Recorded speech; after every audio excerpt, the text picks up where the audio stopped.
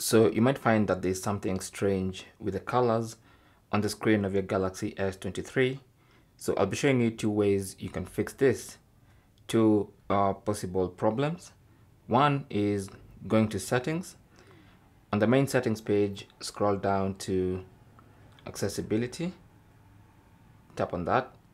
And then under accessibility, go to visibility enhancements. Tap on that and then here, what you want to do is look for, first of all, look for color correction.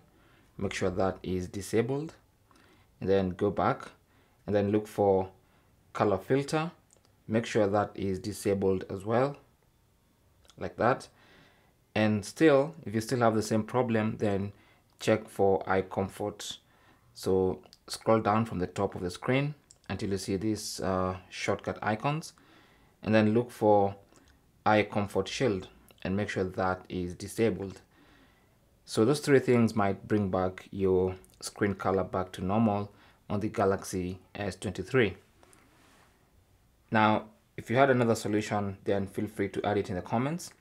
Also, if you have any questions, also feel free to ask in the question in, in the comment section below. But until the next one, my name is Chris, and I'll talk to you guys soon.